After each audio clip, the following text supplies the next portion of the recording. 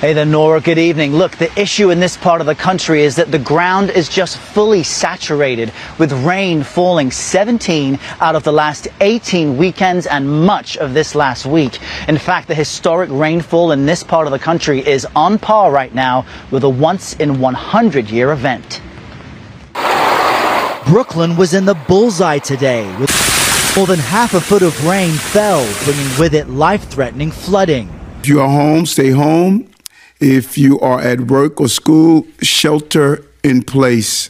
Those floods made travel treacherous. Countless drivers were stuck when the water overtook busy highways. One driver seen with their legs out the window. Commuters also navigated waterlogged trains and stations. Almost every New York City subway line suspended or delayed. Cancellations also on commuter lines and Amtrak. Floodwaters overtook buses